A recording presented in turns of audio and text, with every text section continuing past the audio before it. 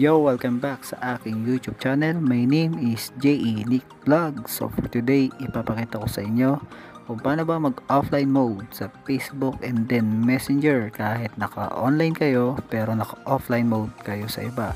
Kung bago ka pa lang sa channel ko, aba, isubscribe mo na yan para updated ka sa mga bagong video tutorial na i-upload ko. And then huwag kalimutan i-like and share. Thank you. Ichigo.